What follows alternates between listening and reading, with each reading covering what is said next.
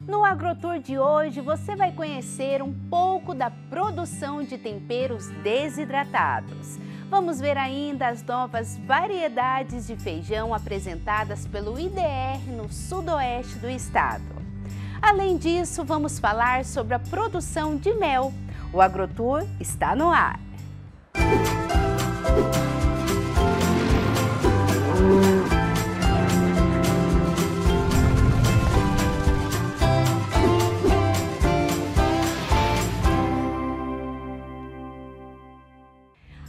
começa o AgroTour contando a história do casal de Guaraniaçu, que investiu na produção de temperos desidratados. A reportagem é da FAG TV.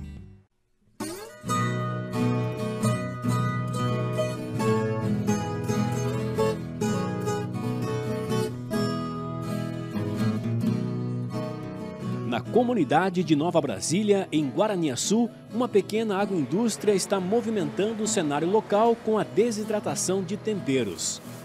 A Santo Antônio Alimentos é liderada pelo casal Dona Sônia e seu João, que desde 2018 oferece uma alternativa prática e saborosa para os consumidores.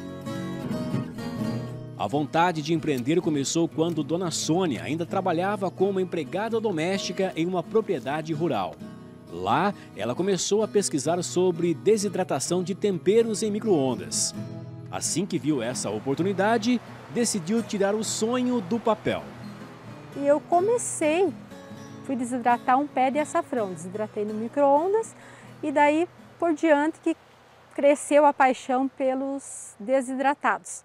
Desidratei o açafrão, vi que ficou bom, só que não era no equipamento certo. Aí fomos pesquisar um desidratador.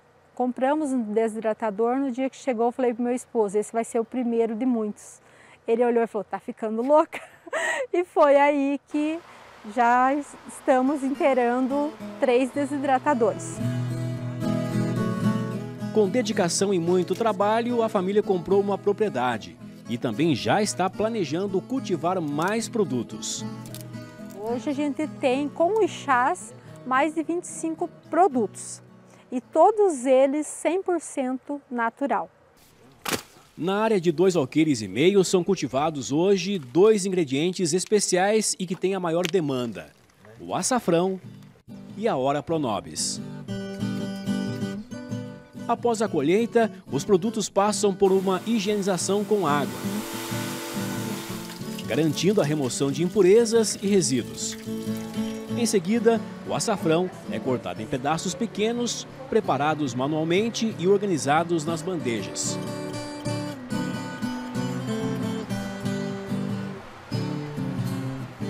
O processo da hora pronobis também é parecido. Limpeza, corte das folhas para separar os talos, preparo nas bandejas e em seguida vai para a desidratação. Cada produto tem um tempo específico para desidratar. A hora pronobis, por exemplo, leva em torno de 8 a 9 horas em temperatura de 60 graus. Daqui vai para o processo de trituração. Os ingredientes são retirados das máquinas e submetidos à trituração. Tanto a hora pronobis quanto o açafrão são feitos da mesma forma, transformando-se em um pó de textura fina e aroma intenso. Depois é embalado e feita a selagem a vácuo, garantindo a preservação da qualidade e nutrientes dos produtos. Fui atrás do pessoal do, da Imater na época para começar, para legalizar tudo. E o pessoal foi com a moça da vigilância e a gente legalizou no espaço que a gente morava, lá na linha Santa Luzia ainda. Márcio é extensionista do Instituto de Desenvolvimento Rural do Paraná, o IDR. Ele destaca a importância da parceria entre os produtores locais e o IDR, que oferece suporte técnico e orientação para melhorar as práticas agrícolas e garantir a qualidade dos produtos. A equipe nossa do IDR teve essa oportunidade de participar com eles desde o nascimento da agroindústria, todo o processo de layout, desenvolvimento da rotulagem, é, a própria construção assim em si da agroindústria, a aquisição das máquinas. Então a gente desde o início teve envolvido nesse processo. Há várias mãos, né, Nós tivemos veterinário que, foi, que trabalhou com, no início do processo, engenheiro de alimentos, economista doméstico, eu como agrônomo, outro agrônomo também na elaboração da, da arte, do rótulo, a Dani, que é a nossa economista doméstica, que dá assistência hoje aqui com relação da agroindústria, na questão de informação nutricional. Agora na nova rotulagem, que é obrigatória a mudança para o ano de 2024, já estivemos aqui, ela já está elaborando a nova rotulagem, então é bastante gratificante ver o desenvolvimento da família, o envolvimento do produtor e o sonho ser materializado. E nunca desistir, porque os problemas eles são muitos. Não é assim que você pega um prato feito, você tem que batalhar. É uma construção dia após dia e ter muita força de vontade e não desistir. Uma das atividades realizadas nos polos de pesquisa e inovação do Instituto de Desenvolvimento Rural do Paraná é disseminar o conhecimento. O Agrotur acompanhou o lançamento de novas cultivares de feijão no IDR de Pato Branco. A reportagem é da TV Sudoeste. O produtor Edmilson Pegorini veio participar do terceiro encontro Centro-Sul Feijão e Milho, dia de campo promovido pelo Polo de Pesquisa e Inovação de Pato Branco do IDR Paraná. Em debate, a cultura do feijão. Quem cultiva vem sempre em busca de informações. Toda vez a gente aprende coisas novas, né? Que, que eles, isso aí é pesquisado, né? Então faz bem para nós agricultores. Até este momento, alguma coisinha específica chamou a sua atenção? A chama, né? Tudo desde as, como se diz, a produtividade, o que a gente tem que fazer no solo e coisa, né? Sempre tem alguma coisa para se agregar na nossa propriedade, né? Duas cultivares lançadas com características distintas. Então, o IDR Paraná, no ano de 2023, lançou duas novas cultivares de feijão então, em março do ano passado, nós lançamos a cultivar IPR Águia, que é uma cultivar do grupo comercial Carioca, de ciclo médio, mais ou menos 90 dias da emergência até a colheita. É, é uma cultivar que tem como principal diferencial a tecnologia estoque. Essa tecnologia tem duas características, que é o escurecimento lento dos grãos após a colheita. Então, feijão que o agricultor pode é, armazenar né, de seis meses a um ano, que ele perde muito pouco a cor, a coloração. Né? Para o empacotador isso é muito bom também, porque ele tem um produto com é, uma característica visual é, bem melhor né, para apresentar para o consumidor. Mas não é só o visual. Esse feijão ele também consegue manter né, o tempo de cozimento por mais tempo. E mesmo é, um feijão assim, com um pouco mais de tempo após a colheita, seis meses, né, ele tem forma um bom caldo, macio, saboroso. Então, do ponto de vista culinário, cultivar IPR Águia realmente tem um diferencial muito grande. É, em dezembro do ano passado, aqui no Sudoeste, em Pato Branco, nós lançamos a cultivar IPR Cardial, que é um feijão é, do tipo do grupo especial. É, a gente chama de DRK, né, Dark Red Kidney, que é um feijão pensando principalmente para o mercado externo. Então a Cooperagos, aqui parceira do evento hoje aqui conosco, é uma das principais exportadoras desse feijão. O agricultor então ele consegue explorar um mercado que normalmente ele não consegue explorar com o preto e o carioca. Então ele tem, esse feijão tem uma estabilidade de preço um pouco melhor é, e, e ele vai atingir então esse mercado externo. O mercado de exportação para feijões brasileiros é uma alternativa rentável para os produtores. O mercado de exportação de feijões ele existe, tá? Ele é uma opção para o produtor, é, inclusive para produtores, para o produtor sair um pouco só de duas culturas que são muito plantadas aqui no Paraná, que é o feijão preto e o feijão carioca. Então o produtor ele tem outras variedades, outras cultivares que ele pode plantar. Hoje nós estamos aqui no IDR lançando a, a sendo tendo o lançamento da, do feijão vermelho, né, o cardial. Então essa é uma opção, uma das opções e que tem tanto mercado interno quanto mercado externo. Tem gente que come feijão no mundo inteiro, inclusive países que não, não consomem carne, alguns países vegetarianos como a Índia, é, por questões religiosas ou até aspectos culturais, eles buscam uma fonte de proteína no grão, no feijão. Então é, a Índia é o maior comprador de feijão do Brasil e tem vários outros países também que compram feijões do Brasil. Você vai ver daqui a pouco A rotina de uma família que trabalha com a produção de mel no sudoeste do estado. A gente já volta.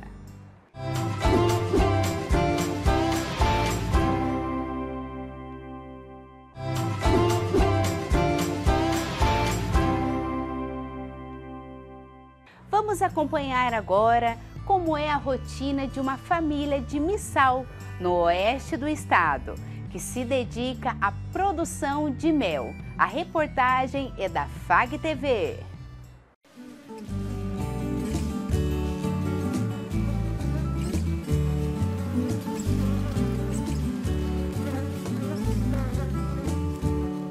Não foi à toa que as abelhas começaram a fazer parte do dia dessa família. Seu Luiz se interessa por elas desde cedo.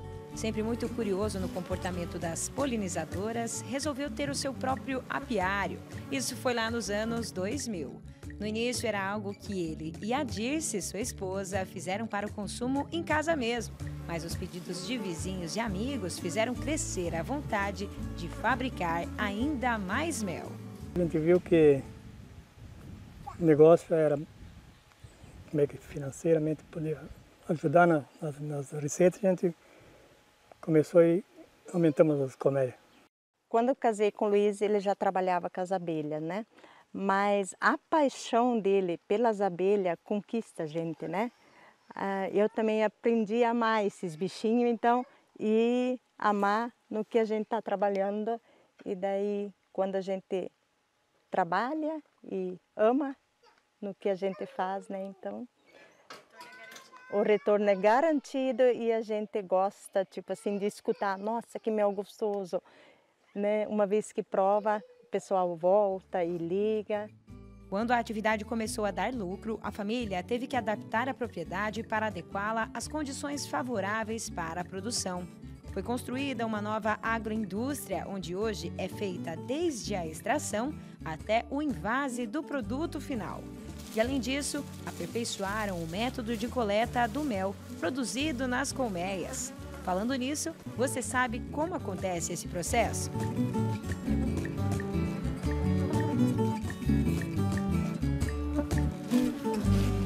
Em época de coleta do mel, o dia do seu Luiz e do Anderson, filho dele, é assim, na mata. É na reserva que fica bem próximo da casa da família, quase às margens do lago de Itaipu, que as 160 caixas da produção ficam, cada uma delas contendo uma família de abelhas.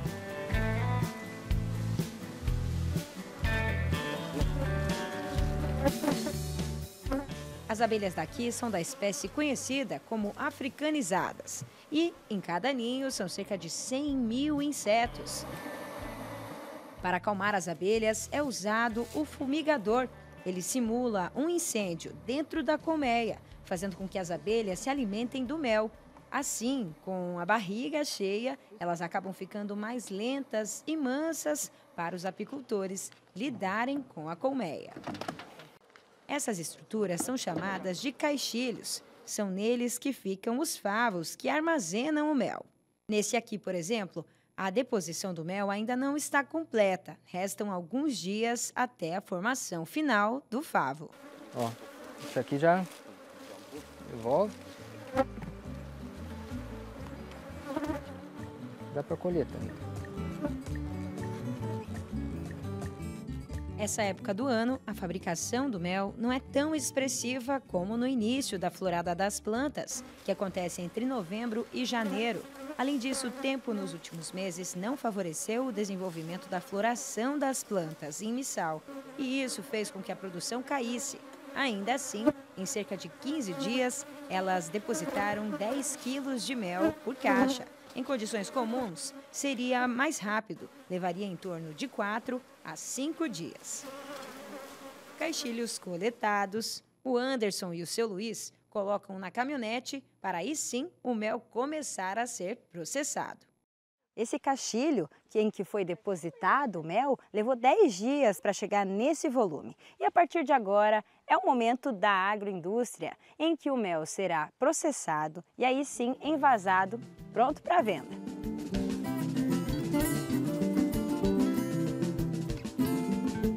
É nesse local da agroindústria que o processamento inicia. As etapas do beneficiamento são divididas em setores. A Dirce, o seu Luiz e o Anderson contribuem com os processos. Um auxilia o trabalho do outro. Nessa etapa, essa máquina chamada de desoperculadora abre os favos e afasta os opérculos, essa fina camada de cera depositada por cima do mel, para que ele saia com mais facilidade.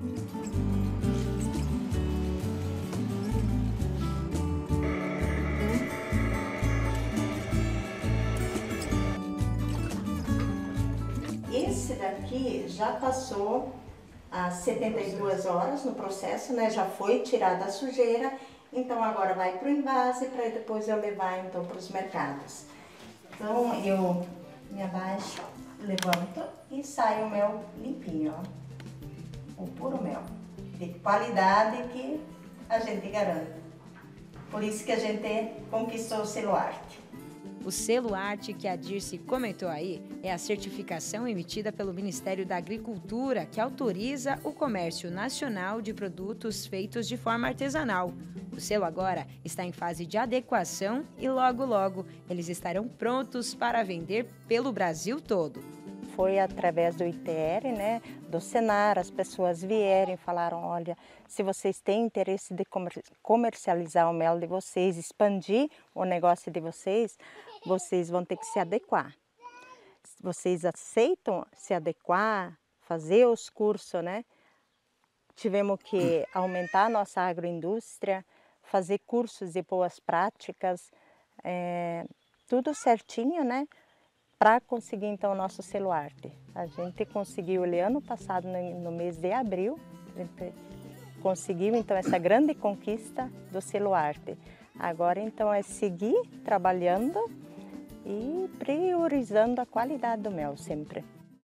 E já que estamos falando de abelha, a nossa dica de passeio de hoje vai até Colombo, onde é possível visitar um meliponário, local de criação de abelhas nativas sem ferrão.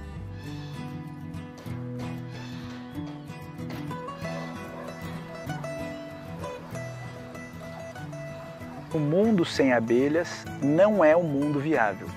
Eu é, nasci e cresci na roça, na área rural e com esse ambiente verde. E vim para Colombo há 18 anos, quando eu casei, e escolhi esse lugar para morar justamente por essa familiaridade com a natureza.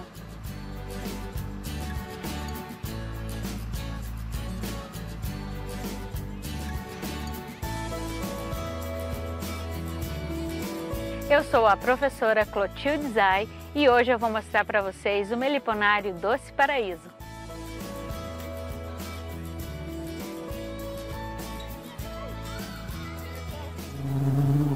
Então nós transformamos a nossa, a nossa casa, o nosso ambiente onde a gente mora, a nossa chácara, numa sala de aula ao ar livre, aberta, com abelhas para visitação com educação ambiental para crianças de escolas, grupos de terceira idade e famílias que queiram não só vir conhecer as abelhas, mas também criá-las em casa. Quando a gente fala das abelhas com ferrão, a gente fala de apiário.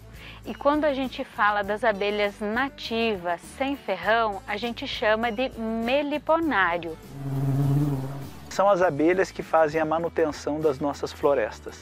As abelhas nativas são as abelhas que mantêm a manutenção das nossas florestas. Sem as abelhas, não haveria florestas, sem florestas, não haveria possibilidade do homem viver nesse planeta. Hoje o que a gente tem percebido é o declínio da população das abelhas, por causa de várias ações humanas, principalmente o desmatamento, a falta de alimentação para as abelhas e também o uso indiscriminado de pesticidas. Então, quando é um passeio escolar, assim, didático, as crianças, eles têm uma prévia na escola, a professora já explica para eles que são abelhas nativas sem ferrão, para ninguém vir com medo, porque sempre que a gente fala a palavra abelha, automaticamente vem à nossa memória a questão do medo.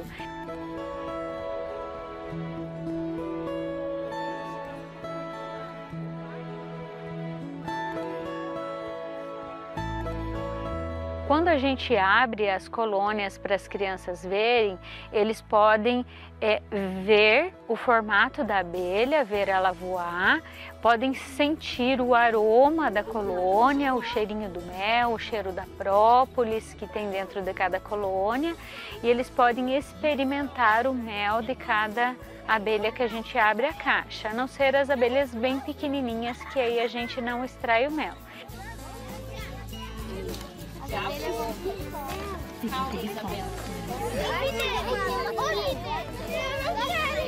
Então as abelhas pegam o pólen lá nas flores e é uma das comidinhas das abelhas. A gente fala para as crianças sobre como que é a rotina das abelhas. Então, de maneira bem simples para que as crianças é, entendam como que é essa relação das abelhas no nosso cotidiano.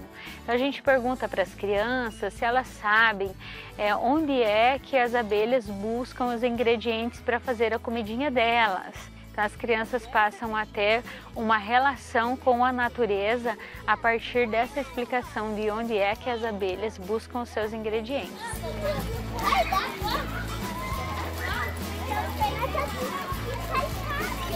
Quando eu cheguei aqui, eu fiquei bem surpresa pelo lugar, muito bonito. É, pelo, pelo tanto de abelhas de tamanhos grandes e pequenos e espécies diferentes. Umas parecem até outros animais. Eu fiquei muito surpresa. Eu amei esse lugar. Achei muito bonito. E o cheirinho também é muito gostoso.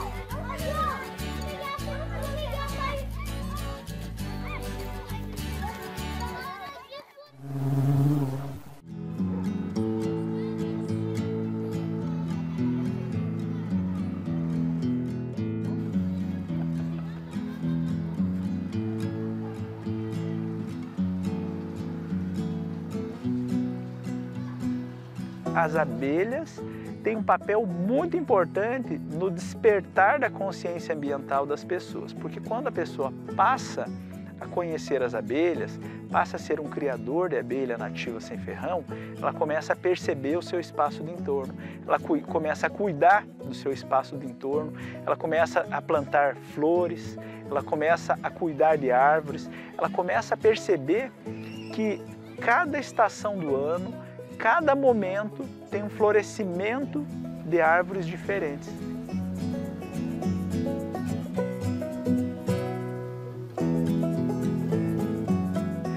Ela começa a perceber que existe uma influência do clima, porque hoje nós estamos em ambientes, né, de modo geral, a população brasileira e até mundial, em ambientes muito urbanizados que perdem a vinculação com a dinâmica natural.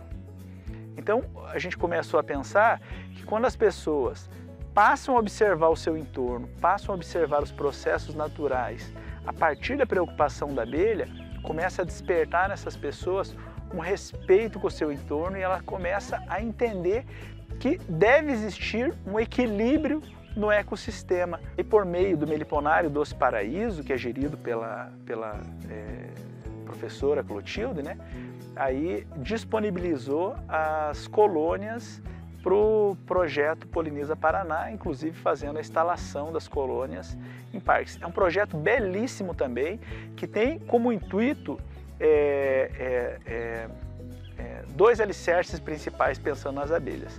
Um primeiro é divulgação das abelhas nativas sem ferrão, porque, pasme, mais de 95% das pessoas não conhecem as abelhas nativas sem ferrão, não sabem que essas abelhas são inofensivas e, em muitos casos, aparece no seu quintal uma, um ninho de abelha, uma nidificação, uma colônia de abelha e as pessoas pegam o inseticida e matam as abelhas pensando que são vespas que vão atacar a família e expor as crianças ao risco de picadas.